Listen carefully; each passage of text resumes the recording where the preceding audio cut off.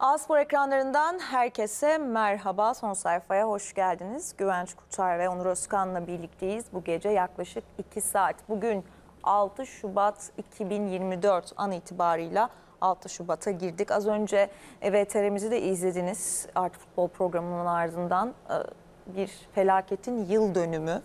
Aslında hiç aydınlanmayan bir geceydi bizim için. Bir sene önce bugün art arda önce gece sabaha karşı sonrasında da gündüz büyük iki deprem artçılarla birlikte ülkemizin büyük bir kısmı bir felakete maruz kaldı. Çok can kaybettik, şehir kaybettik, şehirlerimizi kaybettik. Bir sene olmuş o kaybın ardından tabii ki içimiz buruk hiçbir zaman unutmadık. Aylar geçse de yıllar geçse de unutmayacağımız çok büyük bir felaket. Ee, ama yaralarımızı sarmaya devam ediyoruz. Ee, ve bugün de bütün kaybettiklerimizi, vefat edenleri programın içinde hem şimdi hem de zaman zaman anacağız. Hemen konuklarıma dönmek istiyorum. Hoş geldiniz. Hoş bulduk Melike. İyi yayınlar. İyi yayınlar. Vallahi kimyam bozuldu. Çünkü ben bunları şeyde de yaşamıştım. Kocaeli Spor'dayken de 99 depreminde yaşamıştım. Şimdi bununla beraber aklıma geldikçe ya çok kötü oluyorum yani. Maalesef çok kötü anılar biriktirdik. Çabuk O geçti değil mi bu bir yıl ama e, bize çabuk geçti. Yani Evet. bir de depremi yaşayanlar, yakınların evlerini kaybedenler bir de onlara sormak lazım. Bu yıl nasıl geçti o bir yıl? E, çok zor tabii ki. Hep söylüyoruz ateş düştüğü yere yakıyor. Biz ne kadar derinden hissedersek hissedelim onların duygularını hissetmemiz imkansız, mümkün değil. Evet. İmkansız. Yani o acıları yaşarken biz de birlik olduk. Onlarla birlikte bir mücadele vermeye çalıştık. Kimimiz oraya gitti, kimimiz buradan.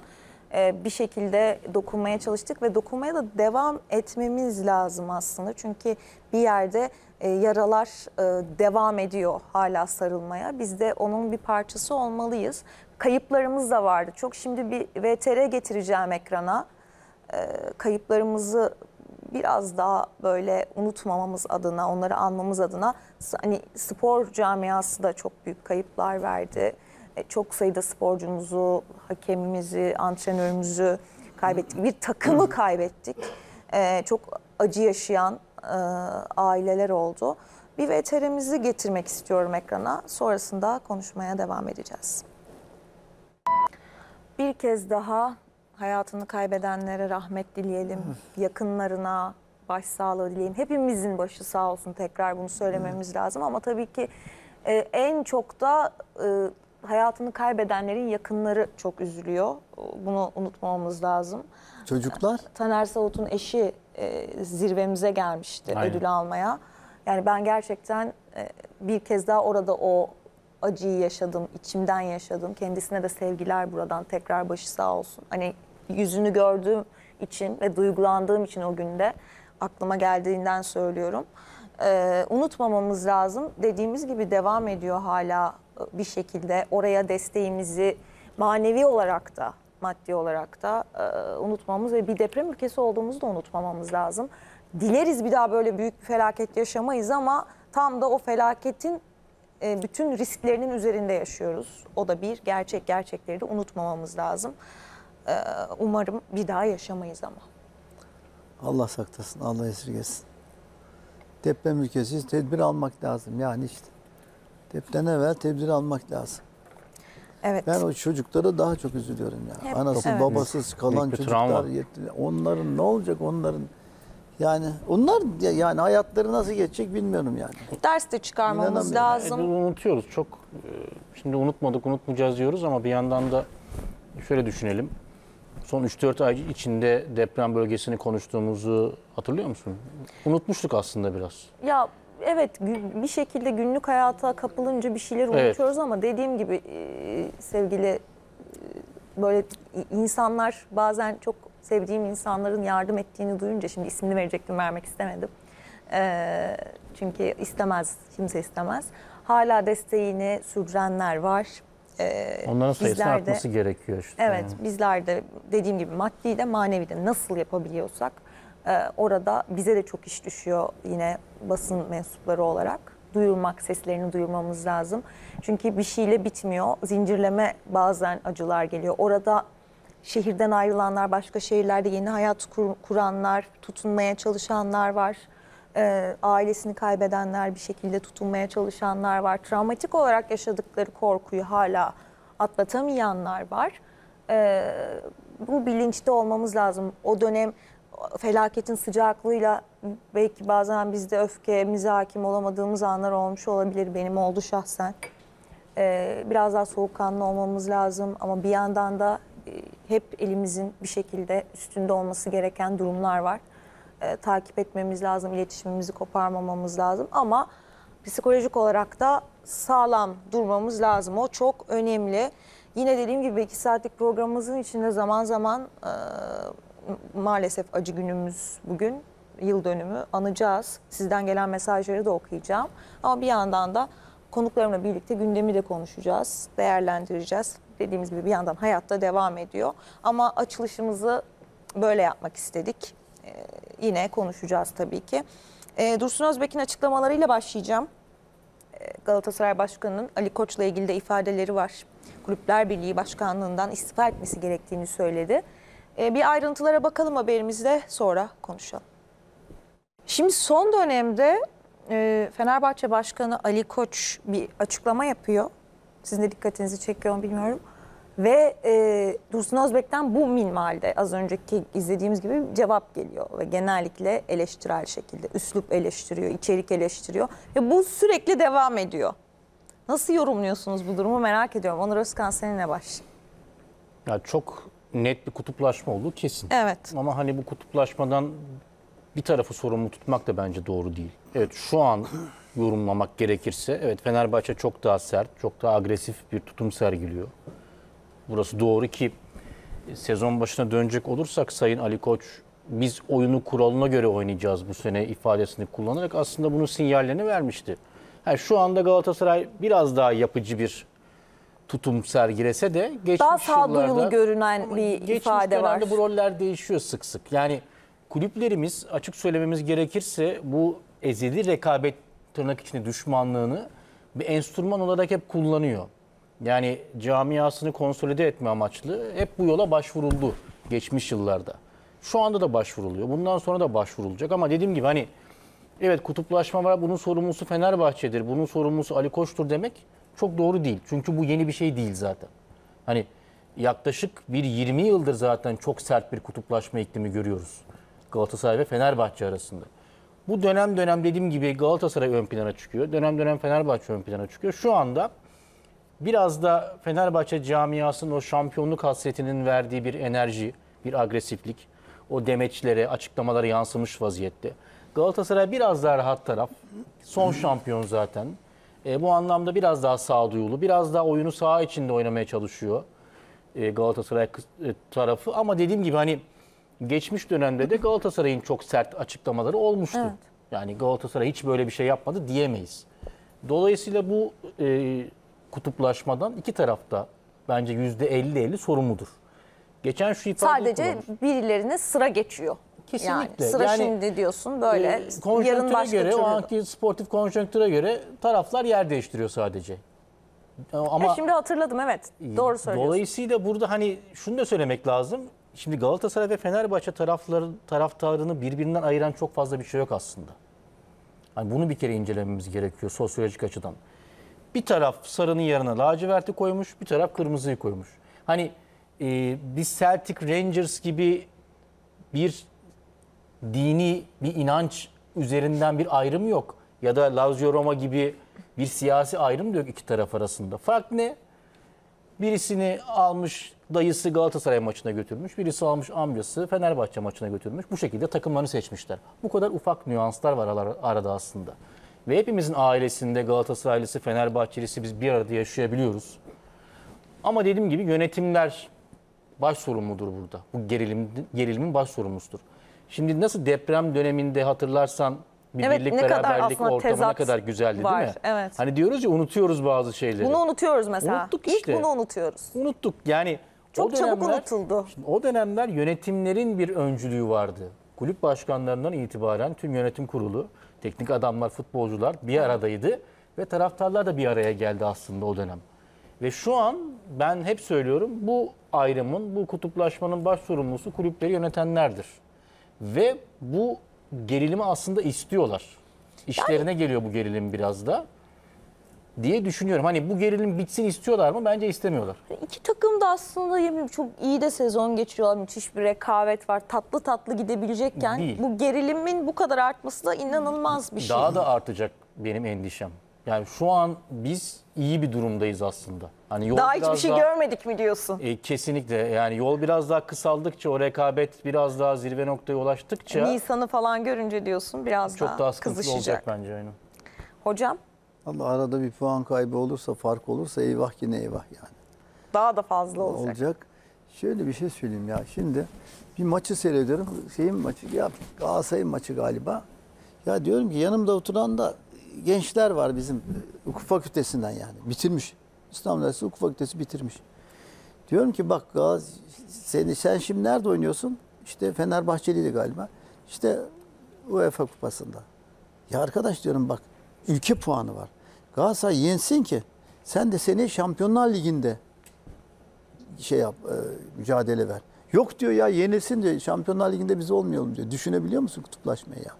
Böyle bir şey olur mu? Böyle bir düşmanlık ol. Ya bunlar da ya kültürlü aklı başında adamlar Hocam çok- yani. Onu ben kutuplaşma olarak görmüyorum biliyor musun? En masumanesi bence o. Masumane olur Ya mu ya? şu Yapma anlamda ya. söylüyorum. Bu Burada yurt adam diyor da ki yenilsin hani bunun diyor bak. örnekleri çok fazla var. Tamam da Yurt dışında böyle bir kültür yok zaten. Ya bak, yani bizdeki diyorum ki kültür bak, yok. milli- Türk milli takımları takım- kazansın Aynen. gibi bir Bak, kültür ülke yok. Ama puanı- onun sebebi de orada takımlar zaten başarılı oluyorlar Avrupa'da. Bir tırnak içinde söylüyorum. Açlık yok bizdeki gibi. Biz bütün takımlarımız adına o kadar az görüyoruz ki bunu. Herkes bir şeyler başarsın istiyoruz. Ya Ama bu olmasa da sorun değil bence. Bu en masumanesi Ben- bence. evet. Ya olayın yani. bak bir şey söyleyeceğim ama aradaki şeyi bak ya. Ya diyorum ki yani Fenerbahçe de seneye Şampiyonlar Ligi'nde oynasın. Biz burada ülke puanını arttıralım. Yok diyor biz.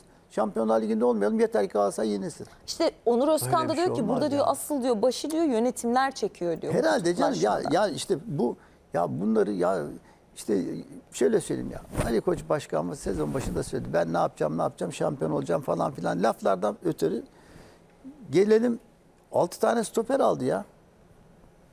6 tane Kötü yedi mü yaptı? Ya, hayır yani kafa, bizde bir, şey, bir laf vardı biliyorsun. Kafayı kırdı deriz biliyor musun? Ya onu da Demeyelim alacak. öyle. Ya biraz daha şey yapsa 3-5 tane daha adam alacak yani. Ben illaki şampiyon olacağım diyor. Ama şeyde hem söylemleriyle hem de hareketlerle de yapıyor. Transfer daha istesi var ya. Yani bu- bugün deseler ki bir 50 milyon liralık adam al. Şampiyon olacaksın. Kesinlikle o adamı alır bak. Kesin bak 50 milyon euro verir alır. Öyle bir durum var. Hocam E, Gaz- yani büyük alır. bir baskı var Var. üstünde tabii. Ya bir de şu var bak. Taraftar mesela bir şey oluyor. Başkan takıma sahip çıkmıyor diyor. İşte beyanat vermiyor. Şey yapmıyor.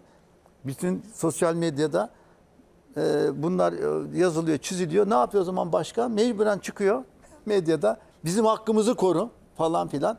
Hep şeyler böyle yani. Sosyal medyada Böyle başkan beklenti var. Beklenti var. O zaman ne yapıyor? Ee, Başkan çıkıyor işte. İşte e, Galatasaray'ın hakkını koyuyor. Fenerbahçe'nin hakkını koruyor falan filan yani. Ya bunlar ya bitmez yani bitmez ama sakin olmaları lazım. Bak yöneticilerin sakin olması. Evet. Yalnız başkanlar da değil. Bütün Yöneticiler de öyle bir şey veriyor ki ben böyle hayret ediyorum ya. Ya onlara çanak tutuyorlar yani öyle bir şey söylüyor birisi. Evet. O da ona cevap veriyor. Bunlar böyle bitmez. Şimdi Bakalım ne olacak. En son maça bakıyorum kafa kafaya gelirlerse orada hakem kim olacak aklımdan o geçiyor biliyor sosyal musun? medyada da çok e, Melike çok sıkıntılı bir süreç var. maalesef onu da konuşacağız. Yani. Şimdi Dursun Özbek'in Ali Koç'la ilgili açıklamalarını getirdik ekran artık. Yani evet biraz sağ içine dönelim. Yine sorularınızla birlikte görüyorum. Yorum da yap- yapıyorsunuz konuyla alakalı. Onları da yönelteceğim ama e, takımla ilgili hem ayrılan oyuncular hem gelen oyuncular e, şu anda takımın durumuyla ilgili de Dursun Özbek'in açıklamaları var. Bir onlara bakalım. Evet şimdi tabii saha içiyle ilgili değerlendirmelerini getirdik e, ekrana. Galatasaray Başkanı Dursun Özbek'in aslında takım açısından her şey normal gidiyor. Olması gerektiği gibi gidiyor. Evet eleştiriler vardı transfer döneminde ama yani rekor bir satış yaptı Galatasaray. Zaman zaman bu da çok önemlidir getirdiğiniz oyuncular kadar ki sezon başında gelen oyuncular ve verdikleri katkıyla kı- kıyasladığımızda bazen transfer yapmak çok şey ifade etmiyor. Bazen çok da konuşulmayan bir isim transfer edersiniz ve takımda diğerlerinden çok daha büyük etkiler yaratabilir. Bunun da örnekleri var. Ve Galatasaray aslında devre arası transferinde bence çok iyi iş yaptı. Onur Özkan seninle başlayayım. Kesinlikle. Önce şunu söyleyeyim. Az önce unuttuk söylemeyi. Serhan Türk'ü tebrik ederim. Güzel bir röportaj. Ee, onu da kutlayalım buradan. Evet tebrik edelim. Ee, dediğin doğru. Galatasaray sportif açıdan çok iyi bir sezon geçiriyor. Yani sezon başından bu yana konuşuyoruz. Planlamada hatalar yapıldı mı? Yapıldı. Daha iyisi yapılabilir miydi? Tabii ki yapılabilirdi. Ee, gelen transferlerin halen bir kısmında sorunlar sürüyor. Bir kısmı adapte olmaya başladı, iyi katkı vermeye başladı. Ama tüm bunlara rağmen baktığımız zaman hani genel bir resme baktığımız zaman Galatasaray sportif açıdan şu an ligde maçlarının %90'ına yakınını kazanmış bir takım. Şampiyonlar Ligi'nde ciddi zorlu bir grubu 3. bitirdi Galatasaray. Evet. United deplasmanında 3 puan aldı. Ve 3 tane ön eleme geçerek bu noktaya geldi Galatasaray'a baktığımız zaman. Dolayısıyla e, tabelaya baktığımız zaman çok başarılı bir Galatasaray görebiliyoruz. Transferdeki sıkıntılara rağmen. Ara transfer döneminde dediğin doğru. Şimdi herkes şunu düşündü. E, Saşa Boy'dan işte 30 milyon euro geldi. Galatasaray çok önemli transferler yapacak. Hayır böyle bir şey yok. Galatasaray gibi ekonomisi olan kulüplerin bir kere e, bu parayı çok iyi yönetmesi gerekiyor. Yani 30 milyon euroyu aldın hemen bununla 3-4 tane transfer yapayım şeklinde bir politika çok yanlış bir politika olurdu. Galatasaray yönetimi tırnak içinde taraftarın gazına da gelebilirdi bu konuda. Çünkü çok ciddi bir transfer isteği arzusu talebi vardı. Evet. Ama bu yapılmadı. Bence çok doğru. Ee, insanlar diyor işte Saşa Boy gitti yeri doldurulamadı. Tabii ki daha iyisi gelebilirdi Orye'den. Bu da doğru ama ben 4 aylık hamlenin son derece doğru olduğunu düşünüyorum. Hazır bir oyuncu Yani. geliyor. Tek sıkıntı burada kupada olması ve hemen gelemeyecek olması oyuncunun. Onun dışında hazır bir oyuncu geldi. Mesela Bakamo'nun satışı da muazzam bir yöneticilik başarısı. Kesinlikle yani çok fazla da milyon kullanamadığımız euro. bir oyuncuyu. Kesinlikle çok ciddi bir rakamdan bahsediyoruz 5 milyon euro ve hemen de aksiyon yapıldı. Yani bakan bu gitti bir gün sonra yerine forvet transferi yapıldı. Bu da çok sık rastladığımız bir şey değil. Bu da başarılı bir hamleydi. Sadece sol bek pozisyonunda bir Galatasaray'ın problemi var. Avrupa için doldurulamadı ama lig için gözüken o ki yönetim bir hamle yapacak. Ee, büyük oranda %90 oranında boşlukların doldurulduğunu düşünüyorum. Benim şahsi fikrim bir 8 numaraya halen ihtiyaç var. Gözüken o ki yabancı kontenjanından dolayı o yapılamayacak ama bence Galatasaray yönetimi hem ekonomik anlamda hem sportif anlamda başarılı bir ara transfer dönemi geçiriyor. Hocam sen ne diyeceksin? Ben hemen şeyden başlayayım. 8 numara Endombele'yi ben çok tutuyorum. Adamı yani bir algı yaratıyorlar. Kötü de kötü, şişko da şişko, yok bilmem ne falan filan. Yani olmaz ya. Adam iyi oynuyor oynadığı zaman ya. Bana göre yanındaki adamlar çok önemli. Yani oynadığı adamlar mesela şöyle söyleyeyim. Endombele, Kaan Ayan, Torreira. Bu üçlü oynasın müthiş oynar mesela o orada. Bak bu üçlü bu üçüyle birlikte oynasın orta sahada müthiş oynar. Neyse. Şimdi Galatasaray sağ bek. Ya ben tabii şöyle düşünüyorum ya. Duba Dubai'yi vermeyin diye burada ben çok belki 15-20 defa söylemişimdir. Verilmez, verilmez sol bekte oynuyor bu falan filan. Verdiler neyse. Ben onu geri alırım. Nasıl almam ya?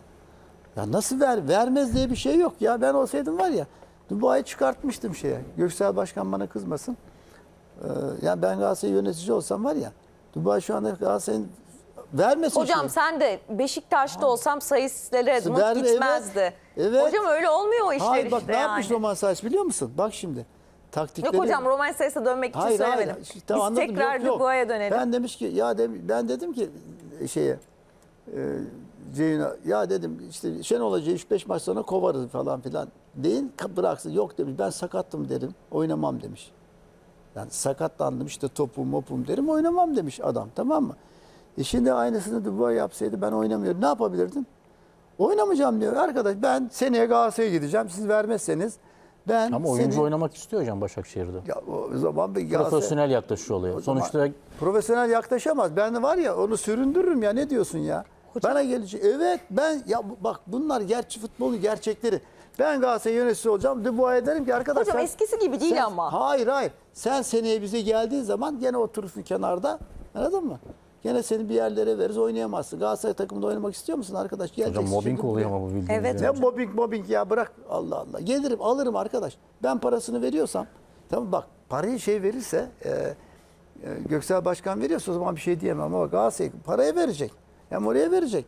Ya Burada, nasıl gelmez burada ya? Galatasaray Ya yönetiminin olmaz bir arkadaş. hatası var hocam. Ya bir şey söyleyeyim hata değil bak. Sözleşmeye geri alma maddesi Hayır, koydusalar. onu kimse koyamaz. E, Almaz o zaman ya. Almam abi ben o zaman. O, Ama zaman sonuçta almaz. Fransa milli o- oynamış bir bek veriyorsunuz. Tamam yani. da bak ben geri alırım maddesinde bu şey mi ya? Çocuk oyuncağı mı ben veriyorum arada alacağım seni. Yok ya. Almam. Avrupa'da var işte bunun örnekleri. Ya ben tahmin et olmaz kabul etmezdi onu. Bu arada hocam geçen sizin Başakşehir- çınlattım ben. Başakşehir ha, almaz. kulaklarınızı çınladım bilmiyorum. Ee, Samsun Nedir? Galatasaray maçından Bence sonra sürekli çınlıyor hocanın. Twitter'dan dedim ki e, Nelson muazzam oynuyor son dönemde. Hocamın buradan kulaklarını çınlatıyorum. Nelson- Hocam Nelson'u beğeniyor musunuz son dönemde? Ya Nelson zaten şey, e, yani şampiyon olduk E, diyor Galatasaraylılar işte gol yemedik az gol yedik bilmem. Ben Şampiyonlar Ligi için konuşuyorum ya. Ama bunu hemen atladınız yani demek ki. Yani ben Şampiyonlar Ligi'nde oy- iyi oynayamaz, oynayamaz. Zaten de öyle oldu zaten. Nerede bir tane göğsüyle pası verdi ya rakibe bir tane. Ya boş ver bir sürü hataları var ya. Oynayamaz. Gene söylüyorum. Gene Avrupa kupalarında gene oynadıysa eyvah yani. Takım öyle çıkarsa bak şimdi belki de UEFA şampiyonu olabilir Galatasaray. Onunla olamaz. Söyleyeyim ya neyse. Şimdi burada ben ya nasıl alma ben benim 4-5 milyon lira içeri kaç paraya aldılar şimdi sağ beki? Galatasaray'ın Ha. çok hocam e, e, 850 bin euro toplam Her ne- maliyeti. Toplamda evet. Şimdi Dubai, Dubai edecekler arkadaş bak biz bu adamı alıyoruz seneye gene oturursun kenarda. Ya şimdi gel. Tamam bırak orayı. Tamam biz alsak da seni seneye oynatacağız. Ya bunlar yapılır ya. Oo, neler gördük biz ya. Bu çok basitti. Ya Ben o kesinlikle Hocam. bak kesinlikle yüzde 99,9 bir adamı alırdım. Şeyi vermesin. Adını söyle. Başakşehir vermesin. Ben, ben olsam var ya Galatasaray idmana çıkartmıştım onu ya.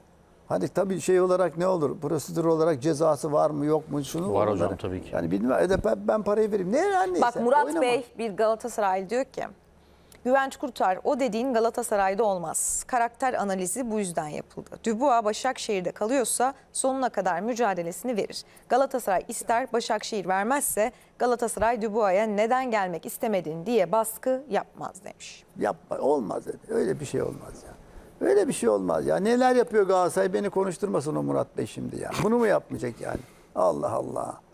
Sen sanki tövbe ya şimdi Galatasaraylı taraftarları kızdıracağım ya. Kızdırma. E, Şimdi. Bahadır Yani Bey olmaz. Nelson takımın en iyisi ya şu sıralar hiç hata yapmıyor demiş Bahadır Bey. Maşallah. Maşallah. İyi oynadığı zaman maşallah diyoruz. Ne diyelim yani. Ya, yani biz gene söylüyorum ben ya Türkiye'de bir sıkıntı yok.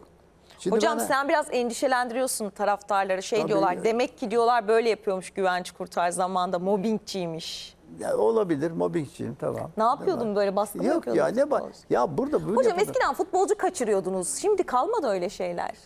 Ya burada bak bu ya bir şey söyleyeyim mi? Adam zorla bak- gelirse oynamaz. Parasını almazsa gider. FIFA'ya başvurur. Tamam burada Durmaz, parayı zaten hiçbir şey- verecek. Ya şimdi Sözleşme bak var hocam Gazi ben arada. bir şey söyleyeyim. Ya bir dakika ya. Parayı ben zaten sana veriyor muyum? Ben ona derim ki Duba bak kardeşim sen buraya geliyorsun ben şimdi senin yerine adam alacağım. Seneye de oynayamazsın. Oturursun kenarda. Evet tamam gelme. Gelme. Bak ne diyecek o zaman gel, gelmeyeceğim diyemez. Hayır, hocam oyuncu Diyemez. gelmek istiyorum dese bile kulüp bırakmadığı sürece Bırakmasın, bir şey yok. oyna- Oynamam, profesyonel- oynamam. Hocam olur mu? Şu an sen Oynamam ama ya. şu an Başakşehir kulübüne de bir şey yapıyorsun yani. Haksızlık Nasıl? ediyorsun ya. Ya Başakşehir kulübüne ama parayı verdi Galatasaray veriyor değil mi? Ben bak şimdi Galatasaray Hocam olsun kulübü bir profesyonel kıyak yapıyor. anlaşma. Ee, sen Ya tamam. şu an futbolculara da kötü bir mesaj Ya ben veriyorsun. alırım. Ya ben ben Şampiyonlar Ligi şey Avrupa Avrupa Kupası'na gidiyorum. Başakşehir'e Cezası da var baktığımda- onun. Başakşehir'in yok sakatlanmanın cezası mı var Hocam ya? ama sen Oynamam. burada al- alenen yalan söylüyorsun. Oynamam arkadaş. Oyna, Hocam Dubois'un şey başını var. yakacak belli oldu. Bunu Yok. sakın denemeyin. Ne, hani var ya Hayır evde canım. denemeyin gibi. Hayır, ben de hayır. diyorum ki yok. Ya ki bunlar Hocam. çok ya neler gördük biz Hocam ya. olmasın O ama işte Türkiye'de biz ya. bunları örnek seveyim. göstermeyelim. Niye gösteriyoruz ki? Kendi kalesine gol at falan demiyoruz ya. Oynamam diyecek arkadaş. Ben seni ya ben şimdi geldim. Seneye ben bu Galatasaray takımında oynatmazlar bunu. Bitti. Ben oynatmam arkadaş. Allame Can olsa oynatmam. Sen bana gelmedin. Bitti. Yok o vermiyorum falan bahane. Nasıl vermiyorum? Hocam şimdi yine kadroya dönecek olursak Alper Bey yazmış. Diyor ki Güvenç hocam Torreira, Endombele ve Kaan üçlüsü orta sahada olursa ön tarafa topu kim taşıyacak? Takımın şu bunlar- anki sorunu zaten bu demiş. Hiç alakası yok ya. Bunlar var ya. Bunları söyleyenler var ya yani hiç futbolu bilmiyor. Ne demek topu kim taşıyacak? Kaan Ayhan gol atmıyor mu? Endombele gol atmaz mı? Torreira gol pozisyona girmiyor mu? Bayern Münih orada gol attı. Ne demek topu kim taşıyacak? Ya bunlar bir ya bu kim taşıyacak lafı var ya futbol hiç bilmeyenlerin bir lafı. Sağ bek, sol bek falan yok mu? Sağ önde, sol önde bilmem. Bunlar çoban mı orta sahadakiler? Pas atmıyor mu? Böyle bir saçma bir şey yok ya. Bu kadar saçma, sapan bir fikir yok. Maalesef Türkiye'de bu var. Ha, ona dur ben bir şey söyleyeyim. Dur şimdi bir şey soracağım. Söylüyorum arkadaş. Ne ismi onun? Alper Bey. Alper Bey. Hocam kişisel bir şey Biz bir dakika biz e, Almanya'yı milli takımını 3-2 yendik değil mi? Orta sahayı sayıyorum sana. İsmail ne oynuyor? 6 numara. Salih 6 numara oynuyor. Hakan Çalanoğlu ne oynuyor? 8 numara oynuyor. 3 tane e, kim taşıdı topu? Sağ tarafta İrfan Can Kahveci, santraforda Yusuf Yazıcı. E 3 tane gol attın. Alman milli takımını yendin arkadaş ya sen ne konuşuyorsun hala ya? Topu kim taşıyacakmış Şöyle ya? bir fark var hocam orada. Nasıl fark? Ya Yani ya maçın- fark et. Ya ne maçı arkadaş? Bak onun söylediğine söylüyorum ben. Şu anlamda söylüyorum. Sizin dediğiniz şu anlamda olabilir. Sizden kadro olarak daha güçlü bir rakibe karşı dediğiniz olabilir. Daha güçlü bir takıma karşı topu götürüyorsun. Daha zayıf bir takıma karşı götüremiyor musun? Tabii çünkü rakip kapandığı zaman ya, çözüm üretemezsiniz. Allah Allah olur mu? Olur mu öyle şey ya? Nasıl çözüm üretemezsin? Bunlar yanlış fikir arkadaş. Bunlar yalan yanlış fikirler. Daha açı, zayıf bir takıma karşı oynarsan tamam mı? Daha çok pozisyona girer. Hiç fark etmez. Hiçbir şey fark etmez. Yani güçlü bir takıma karşı oynarken bunlarla oynuyorsun. Zayıf bir takıma karşı yani güçlü bir takıma karşı bu orta sahayla topu götürüyorsun. Zayıf takıma karşı götüremiyorsun. Bu mantık mı ya? O, inanamıyorum. Bak Murat Bey sana cevap vermiş. Güvenç hocam hem Dubois'ı yabancı oyuncu sayısından zorla yolla.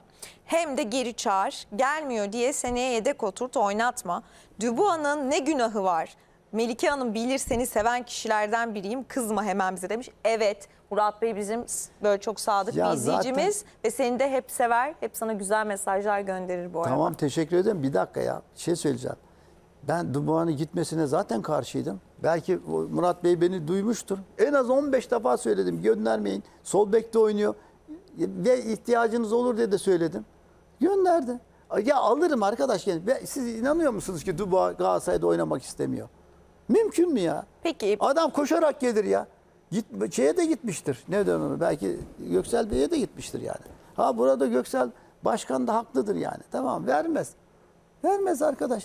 Ver yani benim aldım. Adam oyunu tamam. oynattığı oyuncu niye versin hocam? Ya ver alırım arkadaş. Ben verdiysem alırım. Ben Şimdi- alırım yani. Yine e, Dursun Özbek'in açıklamalarını yorumlayacak ve değerlendirecek olursak işte Boyan'ın satışı ile ilgili çok fazla sosyal medyada da konuşulmuş. İşte bu paranın nasıl değerlendirileceğine yönelik ona da güzel bir cevap veriyor. Yani bu para geldi diye bunu harcayacak değiliz. Hemen transfer yapacak de değiliz. paranın ne Zaten- kadar kasaya girdi? Evet o da var. Takımların borçları malum ki Galatasaray'ın hani bu anlamda ciddi transferler yapmıştı. Çünkü yaz transfer döneminde problem yaşadığı da konuşuluyordu Aynen. e, ekonomik açıdan. Aslında büyük bir katkı sağlamış oldu kasasına bunu söyleyelim ama ne kadarı kasaya girdi ve e, çok da doğru bir ifadesi var yani. Hemen hani e, ihtiyaca göre transfer yapacağız diyor. Kesinlikle yani Size göre şimdi buradan yola çıkarak şunu soracağım. Yani şu an neye ihtiyacı var Galatasaray'ın? Hem izleyicimiz sezon sonu için de sormuş. Şimdi şimdi için de soralım. Bir de e, sizce tamam mı kadrosu? Sezon sonuna kadar bu kadro idare eder mi Galatasaray'ı? Yoksa yapılmalı mı? Ya bu arada ben bir şey Mesela söyleyeceğim. orta saha transferi sorulmuş. Melike bir şey söyleyeceğim. Galatasaray bir sabek aldı ya. Onu ben Başakşehir'e veririm. Yani ver, ya, bir Hocadan formüller. Yani. Tabii canım. Ya Güvenç derim ya, hocadan bak- formüller. Ya başkan bak tamam. Bakın ben, bizim- sizi aldım. Hadi al al Sağ ben- bekiniz de hazır benden. aldım. Sen buyurun. Ben şampiyonlar şey UEFA kupasına gidiyorum bilmem ne. Hedeflerim var. Şampiyonluğa oynuyorum falan. Yani böyle bir şeyler yapılabilir biliyor musun? Al onu buraya ver 800 bin euroya. Bitti. Oyuncu gidecek mi hocam peki Başakşehir'e? Hangisi? Ben Galatasaray'a geldim Başakşehir'e ne Ya- işim yok var ya demeyecek mi? gider Ya, gider ya ne gitme. 800 bin euroya gelen adam var ya. Langa Spor'a bile gider. Ne diyorsun sen? Para bu. var mı Langa Spor? Eskiden vardı. Eskiden galiba. amatör kümede vardı hocam. Evet. Evet. Ya Galatasaray'ın Melike e, ben çok uzun bir süredir bu ifadeyi kullanıyorum. 8 numara eksiği var. Hocamla yine bu konuda Evet. ters düşeceğiz ama hani kadroya baktığımız zaman e, çok sayıda oraya oynayan oyuncusu var. Ancak Okan Hoca'nın sistemin isteklerini karşılayabilecek bir 8 numarası var mı dersen bence yok. Yani Şimdi Galatasaray'ın sezon başından bu yana oyun problemleri var. Özellikle sette problemleri var. Bunu istikrarlı şekilde yapamıyor Galatasaray. Bunun bence en belli başlı sebebi orada merkezde işte modern diye tabir edebileceğimiz oyunun iki yönünü oynayabilen, top taşıyabilecek olan bir 8 numara profilin olmaması. Endombele aslında böyle bir profil ama eskiden böyleydi. Hani şu anki fiziki durumuyla bunu oynayamıyor. Oynadığı maçlarda da çok temposuz kaldı, çok ağır kaldı, yavaş kaldı sahada. E, Kerem Demirbay başka bir profil, başka bir oyuncu. O biraz daha pasör bir oyuncu. E, sert bir oyuncu değil, çok fazla temas eden bir oyuncu değil. Tempolu bir oyuncu değil. E, diğer oyuncular da Sen zaten... bir dakika bir şey söyle. O zaman Kaan Ayan ne? Hocam Kaan Ayhan bir 6 numara. Mesela Bülent Bey bize Jetson gibi bir oyuncu lazım. Jetson'un e, biraz da yeteneklisi olabilir Galatasaray'a ihtiyacı olan. Jetson da iş görür. Hatta ben şöyle söyleyeyim. Badu Endiaye bile Galatasaray'da iş görürdü. Yani öyle bir profile ihtiyacı var Galatasaray'ın. Tempolu bir futbolcuya ihtiyacı var 8 numara pozisyonunda. Hem temas edecek hem topu ileri taşıyacak. Galatasaray'ı hem sette hem geçişte rahatlatacak. Savunma ve hücumda bir profile ihtiyaç var. Ancak böyle bir arayış yok şu an. Şöyle bir arayış var. Eğer Galatasaray yabancı kontenjanını ayarlayabilirse hocanın bir 8-10 oynayabilecek ofansif bir oyuncu isteği var. Ya şey ne için. olacak? Mertens ne olacak? Kemer Kerem Demirbay ne olacak? Şimdi Kerem Demirbay hocam e, Nasıl yani? iyi oyuncu ama E tamam Galatasaray ya, için ideal oyuncu değil. Doğru oyuncu değil bence. Bana bence Başka bir takımda başka bir sistemde çok daha fazla performans verebilir. Ama Galatasaray'ın sisteminin ihtiyaçları orada e, sertlik istiyor, pres istiyor, mücadele istiyor, oyunun iki yönünü oynamayı istiyor. E, Kerem Demirbay böyle bir oyuncu değil. Ha, benim çok beğendiğim bir oyuncu ama başka bir oyuncu, başka bir rolün oyuncusu. Onun dışında sol bek eksiği var Galatasaray'ın. O büyük ihtimalle doldurulacak ama hani ben karar verici olsam kulüpte ve bir tane transfer hakkım olsa ben 8 numara alırım Galatasaray'a. Bir hakkım olsa. Bir hakkım ama. olsa. Ama Yani. normalde ihtiyaç olarak diyorsun ki transfer Evet sol bek ve 8 lazım. numara ihtiyacı var Galatasaray'ın. Şu an çok net. Hani bu kadro şampiyon olur mu? Olur. Bu takım şampiyona ulaşabilir. Ama daha da iyisi için bence şart. Hocam ben Kaan Ayan varken hiç hayat aklımın ucundan bile geçirmem 8. Orada Kerem Demirbay var. Mertens var. Müthiş ikisi de müthiş oyuncu. Varken ben aklımın ucundan bile geçirmem 8 numara falan. Şimdi bizim tabii medyada ve genelde şeyde hep bir e, o 6, 8, 10 numara. Yani iki tane 6, bir tane 8 işte milli takımda. Onun için e, bizim A milli takıma geldi yabancı İtalyan. Çünkü onun oynattığı sistem böyle. 3 tane 6 numara gerekirse. 2 6 bir 8 ve çok başarılı oluyor. En son maçta saçmaladı. Bizimkilere uydu. Herhalde Onur'u duy- duydu, ona uydu. şey maçında Galler maçında. Galler maçında hocam? Evet. Biz sürekli oldu. konuşuyoruz hocamla. Evet, İşte onun için yani o sistemle, o felsefeyi değiştirdi mi yandı. Şimdi bizde hakikaten öyle bir şey var. Yani bütün medyamızda bu var. Saygı duyuyorum. Hatta çapa diyen var. Ömer'in kulaçındasın. Yani şeyin şeyin yanında törenin yanında birisi oynadığı zaman mesela Kaan Ayan çapa falan. Olmuyor işte. Adam burada sen Avrupa'dan var mı 10 numara ya? Nerede 10 numara? Ne 8 numarası? Arkadaş herkes koşuya gidiyor ya. Hocam gerekirse Yani 3 de- tane altıyla da oynarsınız. E yani tamam, maçına göre zaten- doğru maçı onu da Galatasaray oynarsınız. şampiyonlar 3 tane 6 ile oynasın bak. Endombele oynasın Endombele'nin performansı artar. Yani Kaan Ayan Endombele Torreira üçünü oynasın bakayım görün. hocam- Endombele de kötü oynamıyor. Algı. Sen istediğin sıkıntı- kadar şey yap. Şundan sıkıntı olur hocam. Şimdi rakip topu size veriyor ligde. Versin. %80. Al topla oyna diyor. Ben ya geride Endombele bekliyorum müthiş diyor. oynuyor. Tek paslarını görmüyor musun ya Allah Ya bir de tık tık tık nasıl paslar atıyor. Devam Endombele edeceğiz. Müthiş atıyor. E, Kerem Demirbay öyle. E, Kaan Ayan gol atıyor, attırıyor. Devam Allah Allah, edeceğiz. Başka adam. Almam yani. neyse. Sorularınızla birlikte değerlendirmeler yapmayın. Şimdi bir ara vereceğim. Araya giderken e, programın başında da konuştuk. Bugün 6 Şubat 2024. Depremin, felaketin yıl dönümü. E, Bizi felaket boyunca o kurtarma çalışmaları boyunca çok üzen anlar olmuştu ve o gün aslında daha deprem felaketi yaşanmadan Atsu attığı golle Hatay sporları büyük bir sevince boğmuştu ama maalesef depremden sağ olarak kurtulamadı. Bizi en çok yıkan e, vefatlardan biriydi Christian Atsu'nun ölümü gerçekten. Onun kurtarılamaması, bir türlü bulunamaması. E, Bir onun kariyerinde sizi yolculuğa çıkarmak istiyoruz. Mücadelesini, kariyerindeki mücadelesini size anlatmak istiyoruz. Öyle araya gidelim. Dönüşte beraberiz. Gerçekten büyük mücadelelerle geçen bir hayat. Nereden geldiğini asla unutmayan, o vefayı hiçbir zaman bırakmayan çok güzel bir karakter. Ee, bu ülkede de anılar bırakmış olması e, çok bizim için de şanslı olduğumuzu gösteriyor. İyi ki yolu buradan hani geçmiş aslında geçmeseydi belki kaderi farklı olurdu Aynen. diyeceğiz ama bunun önüne geçemediğimiz için söylüyorum bunu. Yani burada da olmasa başka bir şekilde e, artık hani nasıl bir inancınız varsa tabii ki. Ama e, bize iyi ki onu tanımışız. Tanıklık etmişiz bu kariyerin bir kısmına dedirtiyor. Bugün İngiliz basınına ailesinin açıklamaları vardı. Ölümünün birinci yıl dönümü olduğu için. Mesela kardeşinin bir ifadesi var. Ganalı bir kadın ve engelli oğluna yardım ediyormuş. Sürekli onlara para yardımı yapıyormuş. E, e, e, sevgilisi diyor ki mesela nişanlısı sokakta ne zaman bir işte kimsesiz görse işte bir dilenci görse hemen para verirmiş. Ki e, aslında Volkan Hoca'nın da bir açıklaması var. Maçtan sonra para dağıtmış kulüp çalışanlarına, kendince zarfın içine koymuş.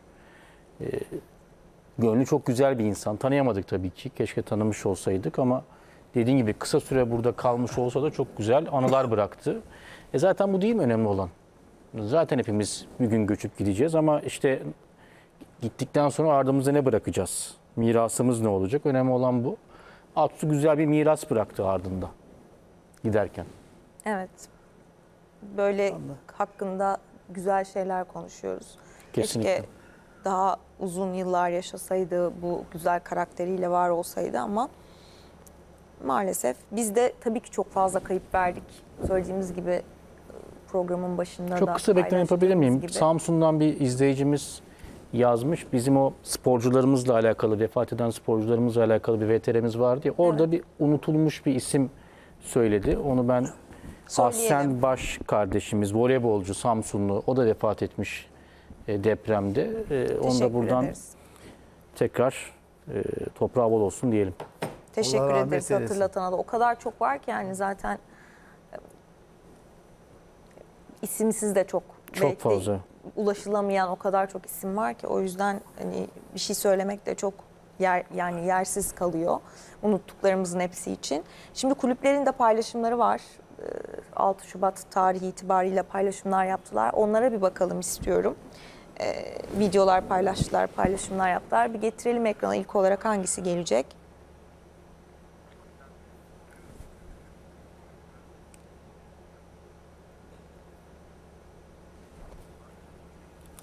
Evet. Beşiktaş'ın paylaşımı unutmadık, unutmayacağız. Geçtiğimiz yıl yaşanan büyük felaketin yıl dönümünde yaşamını yitiren vatandaşlarımıza Allah'tan rahmet, ailelerine, yakınlarına sonsuz sabır diliyoruz. Beşiktaş Kulübü olarak depremden etkilenen tüm vatandaşlarımızın ve e, her zaman yanında olacağımızı belirtir. Bu acıların bir daha yaşanmamasını temenni ederiz demiş yaptığı paylaşımda Beşiktaş Kulübü. E, bütün futbol kulüplerinin ne kadar fedakarlıklar yaptığını biliyoruz zaten. E, hala da devam ettiklerini mesajını paylaşmış Beşiktaş. E, bir başka paylaşımla devam edelim. Fenerbahçe'nin paylaşımı acı felaketin birinci yılı unutmadık, unutmayacağız. Tarihin en büyük felaketlerinden biri olan Kahramanmaraş merkezi 11 ilimizi etkileyen acı depremin üzerinden bugün tam bir yıl geçti. Kaybettiğimiz canlarımızın mekanları cennet olsun, ülkemizin başı sağ olsun. Nasıl ki tarihimizin en acı günlerinde yaralarımızı birlikte sarmak için var gücümüzle çalıştıysak bugün de yarın da çalışmaya devam edeceğiz. Yitip giden canlarımızı unutmayacak, gelecek hayali kuran çocuklarımızı ve binlerce insanımızı yalnız bırakmayacağız demiş Fenerbahçe'de. Trabzonspor'da unutmayacağız mesajıyla bütün şehirleri paylaşmış. Milletimizin başı sağ olsun demiş. Yaptığı paylaşımla kurtarma ekibinden bir e, ismin silüetiyle bir çocuk paylaşmış. Bu sahneyi o kadar çok gördük ki o anlarda kurtarma anında. Hani güzel olanları e, böyle kurtar, kurtarılma hikayelerini görünce belki sevinçten e, böyle gözümüzden yaşlar geliyor ama çok acı olan sahneler de var maalesef. Onlar için de içimiz biraz buruk. Galatasaray bir video paylaştı. Bir o videoyu da ekranlarınıza getirelim. Evet, güzel bir paylaşım yapmış Galatasaray'da bir videoyla ve bir açıklamayla da yaşananları anlatmış. Ee, bütün kulüplerin hani dört büyükleri paylaştık ama şunu söyleyelim. Birlik olduğunu, nasıl birlik olabildiğini, neler yapabildiğini gördüğümüz belki de bu acı dönemde yaşanan o dönemde biraz olsun içimize su serpen e, şeyler gördük, yaşadık. Hatta artık futbolun ardından ekranlarınıza geldi. Sporcuların depremzedelerle, özellikle çocuklarla hem görüntülü olarak konuşması sonra bir araya da gelmeleri. Dünyanın dört bir yanından sporcuların destekleri e, bizleri duygulandırdı, mutlu etti. Maddi manevi. Çünkü maddi destekler kadar o konuşmalar, o güzel dilekler, o bir araya gelişler de çok kıymetli. Çünkü çok ihtiyacınız oluyor öyle şeylere. Bazen bize bir mesaj atıyorlar. Bir cevap verdiğimizde bile ne kadar mutlu oluyorlar. Buradan bizi izleyen şu anda çok var. Bu arada hani evet unutuyoruz diyoruz ama şunu unutmuyoruz. Bana çok mesaj geliyor son sayfa etiketine de. Deprem bölgesinden yazıyorum. Depremzedeyiz. işte depremi yaşadık diye. Zaman zaman onlarla konuşuyoruz. Hepsine şu anda bizi izleyenlere de biliyorum onlar için bugün çok daha ağır, çok daha acı. Bizi izleyenlere tekrar hem yakınlarını kaybedenlere başsağlığı dilemiş olalım geçmiş olsun demiş olalım bu acıyı yaşayanlara hepimize de e, sevgilerimizi gönderelim. E, umarız hiçbirimiz bir daha böyle bir felaketi yaşamayız. Evet şimdi devam edeceğim. E, Fenerbahçe'ye geçiyorum. Ali Koç'un da bir cevabı oldu Galatasaray Başkanı Dursun Özbek'e. Bir onları hatırlatalım. E, kulüp yaptı açıklamayı. Galatasaray Kulübü Başkanı'nın açıklamalarına istinaden dendi. E, proje, bölücülük, patolojik mağduriyet söylemleri, e, kulübünüze haciz getirme konuları başta olmak üzere demiş. FETÖ ile ilgili gerçekler atanan başkan ve kulüplerimiz arasında devam eden tüm gündemlerle ilgili olarak uzaktan maval okumak yerine sizi istediğiniz mecrada yanınıza istediğiniz yardımcıyı da alarak beşinci kez karşı karşıya yayına çıkmaya davet ediyorum. Tabii yüreğiniz yetiyorsa ifadeleri kullanıldı. Tamamen kulübün e, resmi sitesinden yapılan açıklamayı okudum.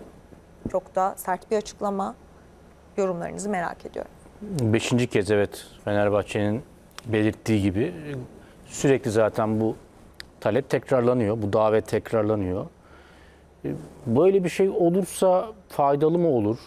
Ne getirir, ne götürür? Hani bunu düşündüğümüz zaman ben yeni tartışmaların penceresini açmaktan başka bir şey olacağını düşünmüyorum. Hani bu tartışma sonunda bir taraf haklı çıkacak mı? Tabii ki e, her takımın taraftarı için bu duygu paylaşılabilir ama hani e, kamuoyunun geneline baktığımız zaman bir kazanan bir haklı çıkmayacaktır buradan.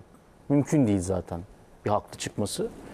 E, Dolayısıyla Galatasaray Kulübü şu ana kadar bu taleplere yanıt vermiyor. Biz saha içinde kalacağız deniyor. Fenerbahçe'nin böyle bir isteği var. Ha dediğim gibi bu tartışmalar daha çok alevlenecek.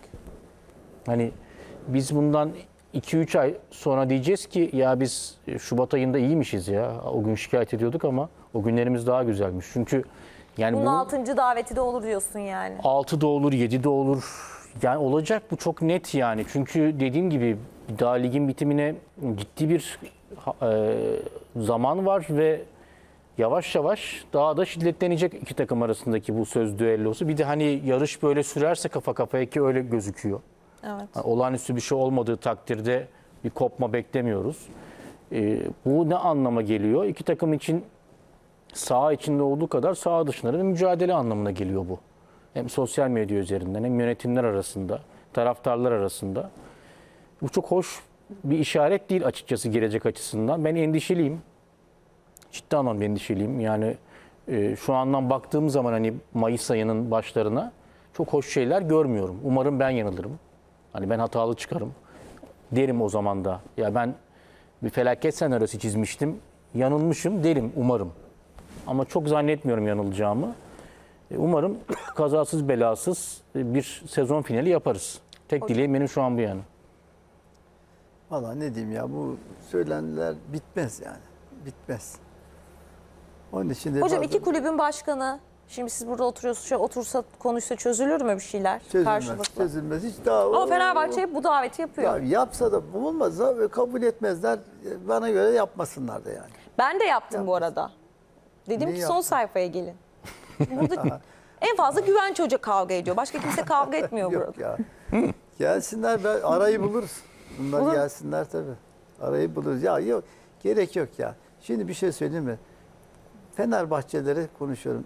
Fenerbahçe X bir takımı 20-0 yense değil mi? Galatasaray'ı 1-0 yense değil mi? Ne kadar mutlu olur. Ama bu, bu ezeli rekabetin tadı burada zaten İşte tabii hocam. yani Fenerbahçe, Beşiktaş, Galatasaray, Trabzon olmazsa o ligin tadı falan tuzu olmaz zaten ya.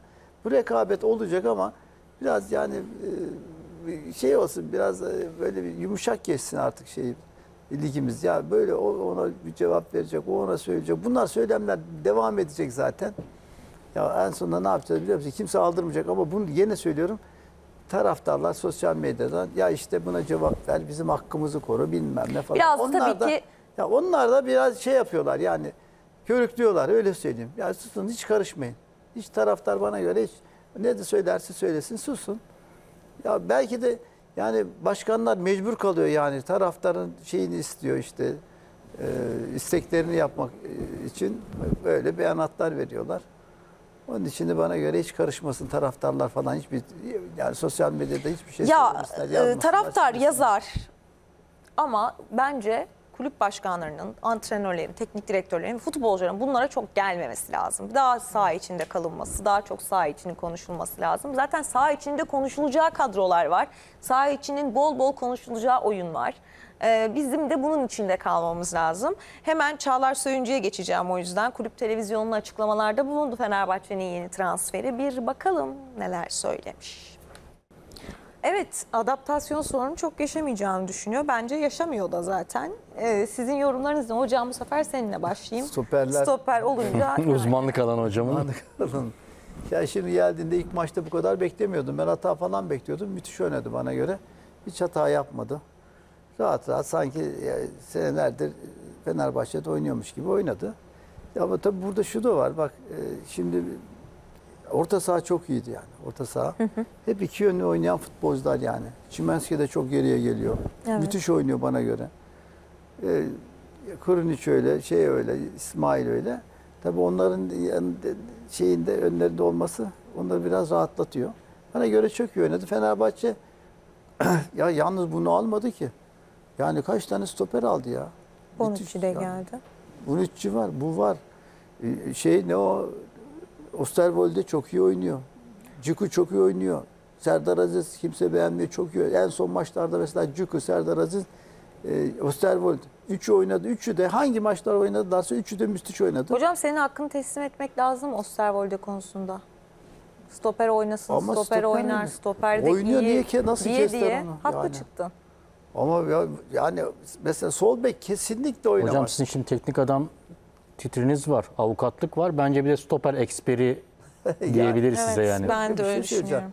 Şimdi bak sol bek sol bek dediğin zaman Ferdi Tayfur diyeceğim neyse. Kadıoğlu. Ferdi Kadıoğlu ya gidiyor bak adam 20 defa 30 defa 40 defa gidiyor.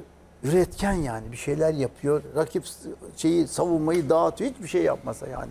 Oralarda görünüyor ya bir şeyi önde oynayan futbolcu var ya illallah diyordur onun şeyinde karşısında oynayan. Orada tutmaktan var ya şey yapamıyordu. Çok tempolu birisi olması lazım onun karşısında ki hem onu kontrol etsin hem hücuma çıksın. Şimdi sağ bek de öyle mesela. Şimdi Üstadvalde koyduğun zaman oraya sol bek olarak söylüyorum. Fenerbahçe'nin bana göre en büyük eksiği. Ferdi olmadığı zaman o sol bek sorunu var. Bir maçta bak bunlar çok ararlar şeyi sol beki. Onun için de şey Lincoln gitti ben gidiyor herhalde. Çok üzülüyorum onun için. Fenerbahçe adına üzülüyorum yani. Yoksa şey değil. Ben olsam onu vermezdim. Hücum gücü olarak, üretken olarak sol bek çok iyi. Osterwald orada oynamaz. Stoper iyi oynamaya başladı. Bazen şey pozisyon almasını yani eksikleri falan vardı ama yavaş yavaş onu da düzeltiyor. Çünkü çabuk, süratli, kafa topları iyi, ayağı da fena değil. Yani o oynuyor oynuyor var ya çok çok iyi yerlere gelir. Ama şimdi şimdi aldılar e, yani oynar mı oynamaz Ben mı? Göre Fenerbahçe'nin de az önce Galatasaray için de söyledim. Yani çok iyi bir transfer, ara transfer dönemi geçirdiğini düşünüyorum. Ee, şu anda eksiksiz bir şekilde de devam edebilir böyle Kesin. sezon sonuna kadar. Şey, Fazlası var hatta. Fazlası bile var hatta. Sol bek yok. İkinci sol bek yok. Ben e, Yok yani. Lincoln konusunda size katılıyorum. Ben de onu birkaç kere dile getirdim ama anladığım kadarıyla planlamada şu, e, Evet. Mert Müldür'ü hani eğer Ferdi'nin olmadığı maçlar olursa o düşünülüyor sol bek pozisyonuna diye tahmin ediyorum. Bak çok güzel tamam. Hocam Mert Müldür sol beksiz ya ki sol beksiz şampiyon olan takımlar var. Gayet de sol beki olan bir takımdan bahsettiğimiz için onu eksikten saymıyorum aslında Ama ben bir şey biraz. söyleyeyim bak. Ana Avrupa- pozisyon Avrupa değil sol bek. Avrupa şampiyonluğuna gidecek bu.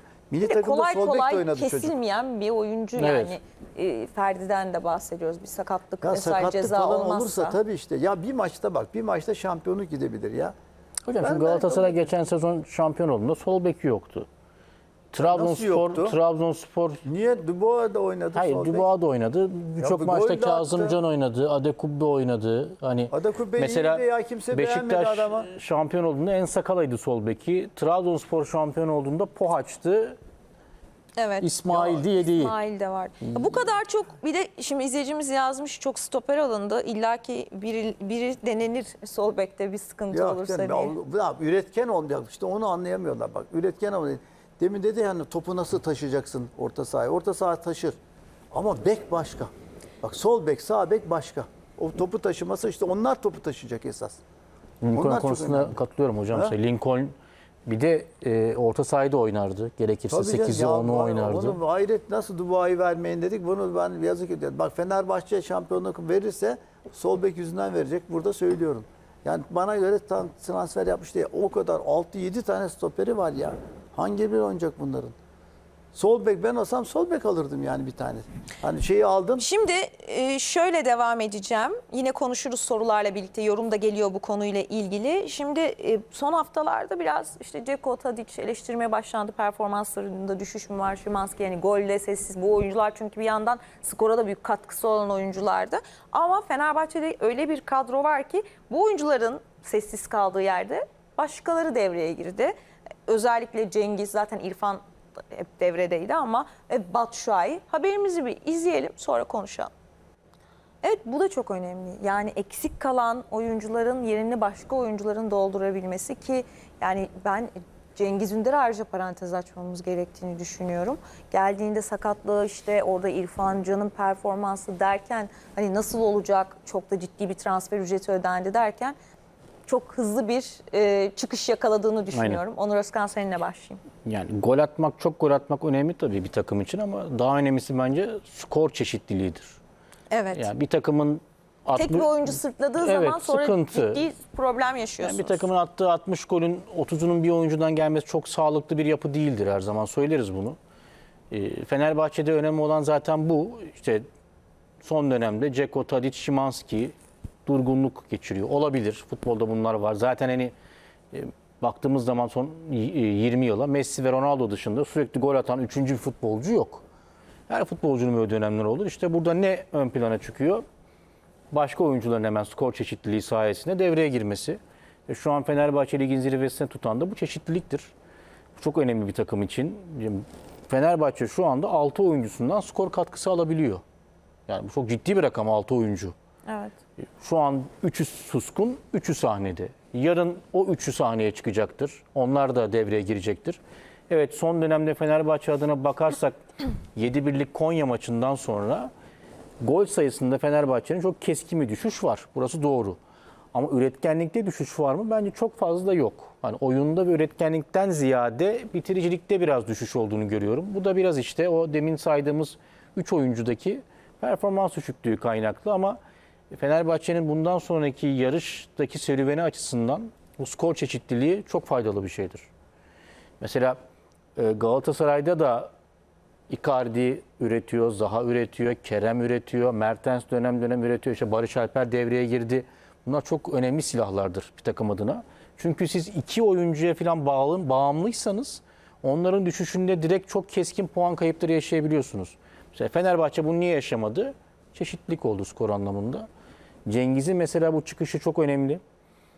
Çok ciddi bir özgüven kaybı vardı. Hani dedik acaba olmayacak mı? O maliyetin altında ezilecek mi? Çok büyük bir rakam çünkü ama şunu gösterdi. Çok güçlü bir psikolojik yapısı varmış Cengiz'in. O eleştirilerden güçlü çıkmayı başardı. Hocam sen ne Ne diyeceksin? geliyor aklıma biliyor musun? Şeytanlık geliyor gene. Gelmesin hocam. Gelsin niye biliyor musun? Bu Galatasaray sol bek alıyor. Bir hülle yapıp bu Lincoln'u alsa. Yapar, olur? Bonservis Fenerbahçe'de hocam şu anda. Öyle mi? Ha vermedi yani. Yok, kiraladı Fenerbahçe. Kiralık. Kiradan kira olmuyor. Sol- Hocam çok tehlikelisin. Ya ben şey söyleyeceğim. Sen ya, ya işte Hocam- Galatasaray- Galatasaray'ın ihtiyacı var sol beke değil mi? Bana göre bu çok iyi adam. Bunu niye veriyor ben? Bak Emre Mor'u niye veriyor arkadaş ya? Niye verdin ya? Hocam Bak ben Cengiz Ünder'le bir şey söyleyeyim. Bir itirafta bulunayım. Buyurunuz. Ben olsam almazdım dedim. 15 milyon vermem. Niye? Orada Emre var. İrfan var. Kent var dedim. Üç tanesi taca çıkacak. Biliyor musun? Yani almazdım dedim. Ama şimdi bakıyorsun gene İrfan da orada oynadığı zaman iyi şeyler yapıyor. Bana göre Emre'yi bıraksalardı iyi şeyler yapabilirdi. Belki Cengiz kadar yapamazdı ama Cengiz'in attığı bu birkaç tane gol var ki ekstra ekstra gol. Her futbolcunun atacağı gol değil yani onlar. Müthiş hele bu Antalya Evet, maçında, evet. maçında attığı gol var ya 10 numara bir gol. Onu benim diyen bir futbolcu atamaz yani. Avrupa'da da belki atamazlar. Ama onun için ya yine işte Ali Koç Başkan her tarafı doldurdu futbolculuğu. Gene söylüyorum. Gene Fenerbahçe'nin sol beki yok. Bir gün beni hatırlarlar, hatırlarlar böyle bir maçta. Hocam sol bek yok demeyin. Bu sefer burayı kesiyorlar. Yayınlıyorlar. Diyorlar ki Güvenç Hoca Ferdi'yi saymadım adamdan. Yani Ferdi'nin yedeği yok. Ya, yedi- evet evet O yani. kadar da değil artık onda. Yok, Çok yapıyorlar hocam onun için. yapıyorlar onu. E, yapsınlar, sol bek yok demeyin hocam. Alternatif sol bek yok deyin. Ha, al- alıştık artık canım. Ya Yani şimdi e, çok farklı olacak ama Saşa Boya gitti ama Galatasaray'da maç kaçırmadan sürekli oynamış yani bir oyuncudan bahsediyoruz. Sonda aldığı Evet. ceza hariç.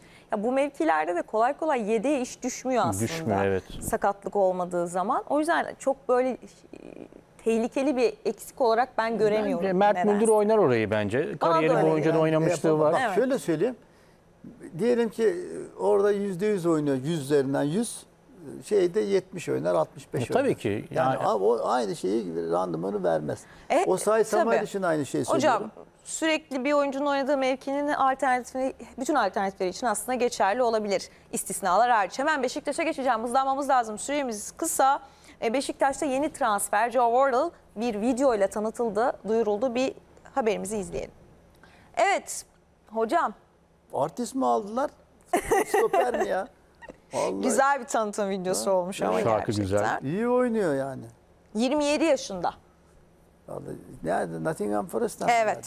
Benim takımım Bir bizim kiralama. gençliğimizde çocukluğumuzda hep ne hangi takım Nottingham Forest derdik. Evet çok biliyor musun fazla. yani? Bir dönemin e, efsanesi. bir, Evet. bir dönemin benim yetişemediğim bir dönem o. Ya ona bakıyorum. Destekleyeni çok var. evet. Düşmesin diye biliyor musun?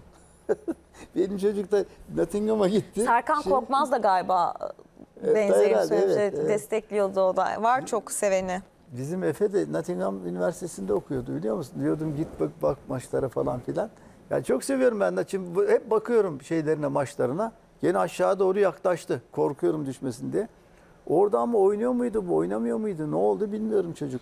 Şimdi 600 bin euro bir e, maaş ödenecek oyuncuya. Nottingham Forest'ta herhangi bir kiralama bedeli ödenmeyecek. Anlaşmanın detayı bu şekilde. Oynamıyor muydu acaba? Ee, bu sezon ona. 9 maçta süre almış.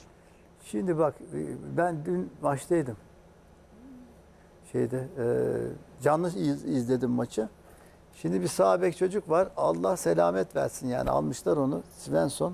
Evet yeni transfer. Yani var ya nasıl aldınız ya? Niye bu şey gitti? Yani sağ bek Rozya niye gitti? O şey niye Hocam orada oynamıyor? ciddi bir Onu- problem olduğu aşikar. Anladım da ya Sportif bir problem şey ne? değil o karar. Ya ne her neyse ya. Ya illa ki bir şey var. E, Daha evvel oynat, oynuyordu. Bak şampiyon oldu seni iyi oynadı. Öbür sene tam fiyaskoydu. Sonra Şenol Hoca tek geldi iyi oynamaya başladı. Yani oynatır. E, Onur bundan iyi. Bundan iyi. Bunu tren gibi geçiyorlar. Savunması yok o kadar. Hücumu fazla değil. Ne diye aldınız arkadaş? Gene böyle bir adam mı aldım? Aklım sırrım ermiyor vallahi Beşiktaş. O zaman biraz Beşiktaş adına iyi olan şeyleri konuşalım mı? Konuşalım. Ee, Semih diyelim Ben- mi? Bir haberimiz var. Ee, Semih Kılıçsoy yine şaşırtmadı oynadığı maçta. Adeta e, parlıyor diyebiliriz. Ve takımı da sırtlıyor. Önce haberimizi izleyelim sonra iki konuğuma da tabii ki soracağım. Evet yani milli takım için de çok büyük bir kazanç.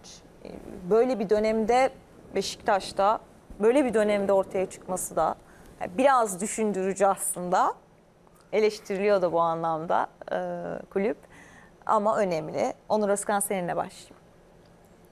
Yani şu anlamda eleştiriliyor. Kriz olmasaydı biz seni Evet. izleyemeyecek Bu miydik? zamana kadar hani bu oyuncuyu niye parlatmadınız? Yani bu ortaya bizim çıkarmadınız? sadece Beşiktaş'ın değil, bizim Türk futbolunun genel bir problemi bu. Tabii tabii. Krizler olmadığı zaman bazen böyle oyuncuları göremiyoruz. Dediğin çok doğru. Abu Bakar oynasa, Beşiktaş'ın durumu iyi olsa şu anda biz Semih Kılıçsoy gibi bir yeteneğe büyük ihtimalle Türk futbol olarak sahip olamayacaktık.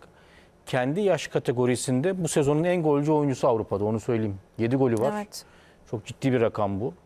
Ve bu Beşiktaş'ta bu rakamları yakalayabilmesi de enteresan. Ee, hani benim hafızam yettiği kadar söyleyeyim. Çok genç yetenek gördüm. Çok sayıda isim sayabiliriz burada. Belki Semih bunların en kalitelisi, en yeteneklisi mi değil ama fiziki açıdan bence Avrupa'nın o 5 büyük ligine en hazır oyuncu genç yetenekler içine Semih Kılıçsoy. Mesela attığı ikinci golde başka bir oyuncu olsa 3 kere yere düşerdi. Her temas aldığında düşebilirdi ama ayakta kaldı. 18 yaşında bu fiziki direnç, bu fiziki kalite bu doğuştan gelen bir şey. Hani bu e, zamanla yapılabilecek bir şey değil çok kolay kolay. Yani Semih bu anlamda şanslı bir oyuncu. Yetenekli evet. Yetenek artı fizik güç. Mesela ben Semih'i izlerken bilmiyorum aynı fikirde misiniz? Nihat Kahveci'yi görüyorum biraz. Hani Biri daha mı söyledi yoksa sen mi söyledin bunu? bilmiyorum hatırlamıyorum. Biri daha söyledi. Biz bayağı bir sene yayın yapmıyoruz. Aynen O bayağı. zaman sen değilsin.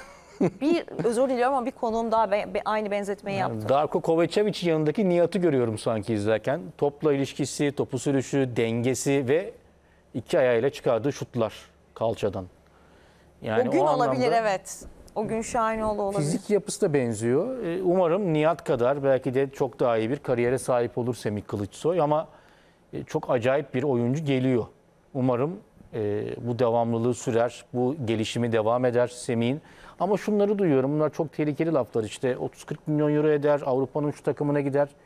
Ya çok erken daha bunlar yani. Bir önce bir Semih'i bir sindirelim, bir oynasın çocuk, bir Beşiktaş'ta kalıcı olsun, milli takımımıza bir yükselsin.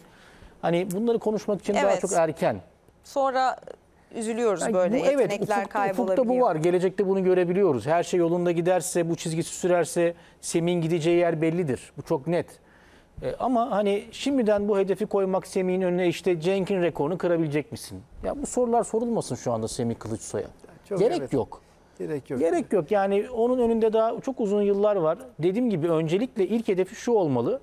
Önümüzdeki sezon Beşiktaş'ın kuracağı kadronun ana temel parçalarından biri olsun Semih Kılıçsoy öncelikle ki olacaktır.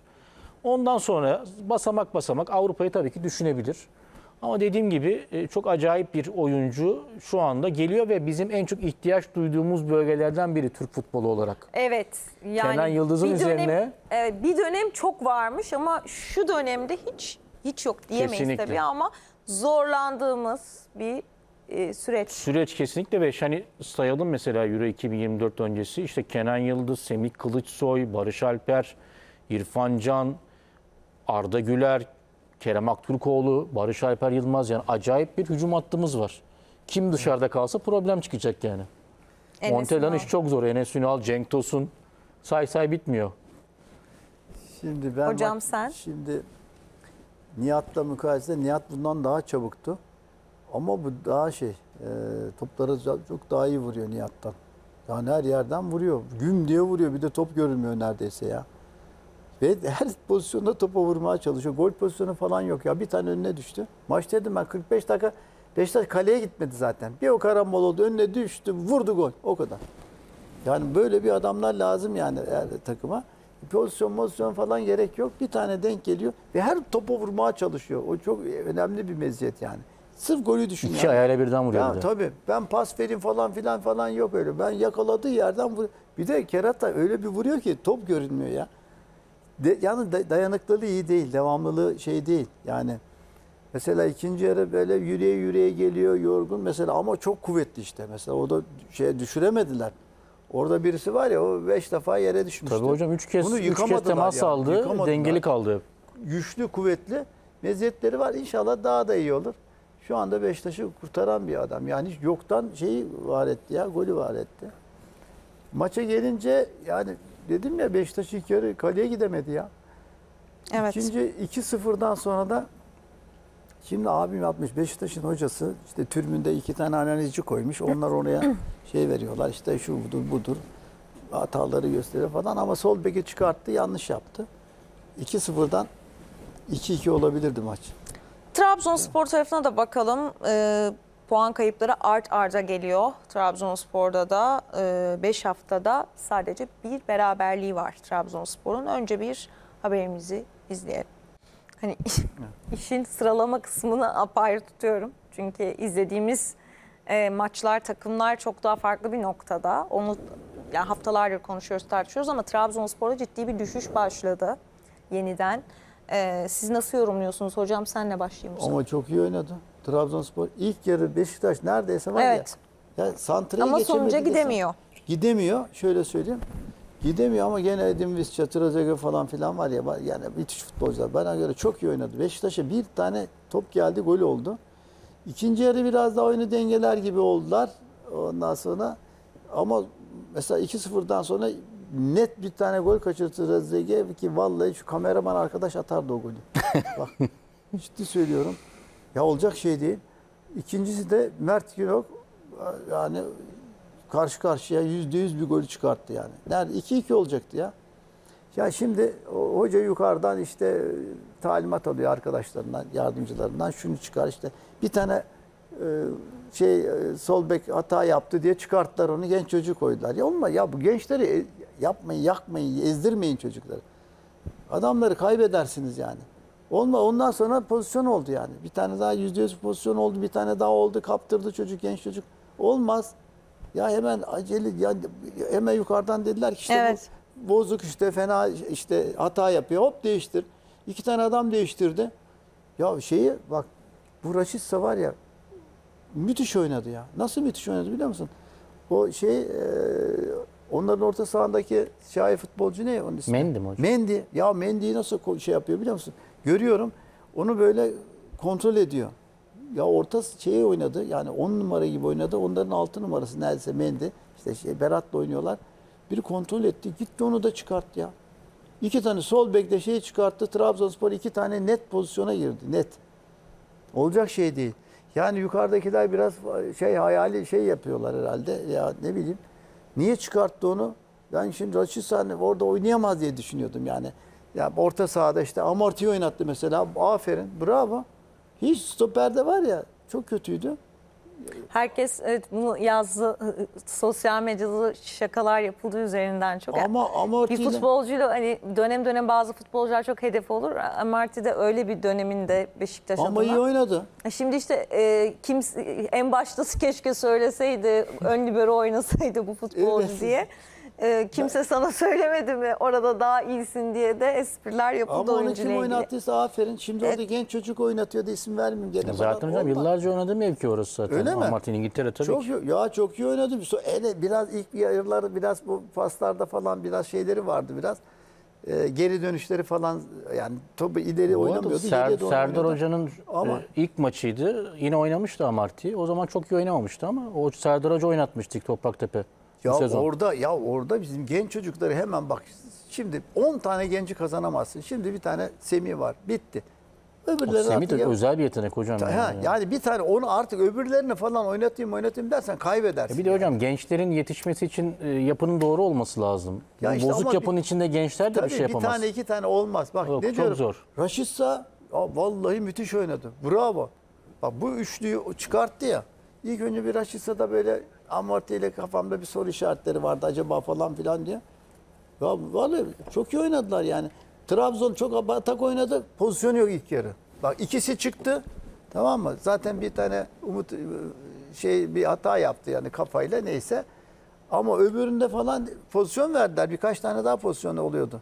Yüzde yüz pozisyona girdi şey. Evet Trabzon. şimdi e, bir de kupaya geçelim istiyorum. Çünkü artık yeni gündeyiz. Zira Türkiye Kupası'nda da bu hafta e, son 16 heyecanı yaşanacak e, ve karşılaşmalar Aspor'dan yayınlanacak. Bir programa bakalım haberimizde. Hangi karşılaşmaları izleyeceksiniz?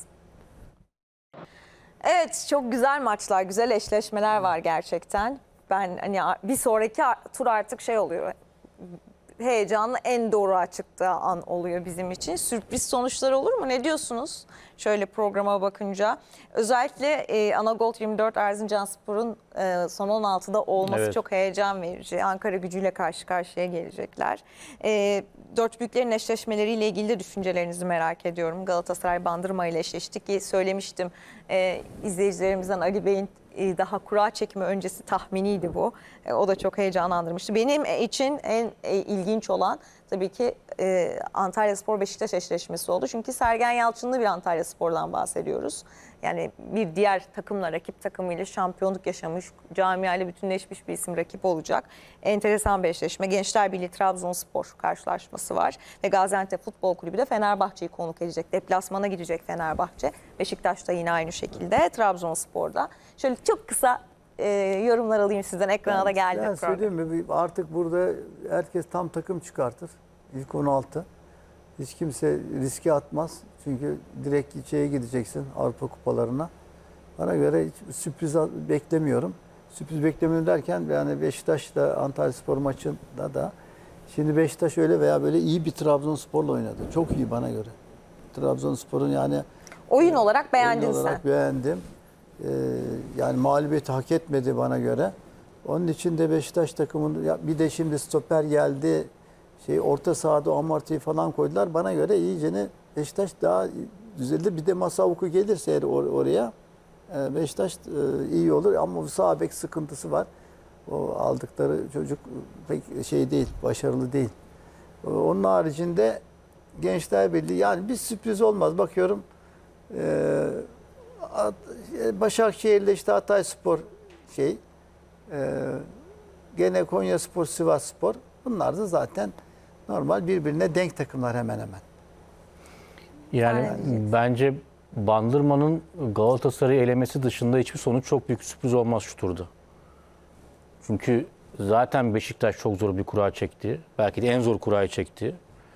E, Trabzonspor zor bir deplasman. Gençler Birliği iyi bir takım. Başkent deplasmanı lig farkı olsa da arada Trabzonspor'un içinde bulunduğu durumu da dikkate alırsak kolay maç olmaz. E, Gaziantep ligde Fenerbahçe'yi çok zorlamıştı. Kupada da bunun benzerini yaşayabiliriz. Zaten diğer eşleşmelerde sürprize açık. Ben sadece Galatasaray'ı bu turda rahat görüyorum. Onun dışındaki hiçbir takım hani çok rahat geçemez bu turu gibime geliyor şu an kağıt üzerinde. Bakalım neler olacak? Uzar mı maçlar? Nasıl olur? Bütün keyif e, A-Spor ekranında olacak e, bu hafta içerisinde. Bizler de tabii ki yayınlarda sizlerle karşılaşmaları konuşacağız. Son sayfayı bu gecelik noktalıyoruz. Tekrar görüşmek üzere. Hoşçakalın.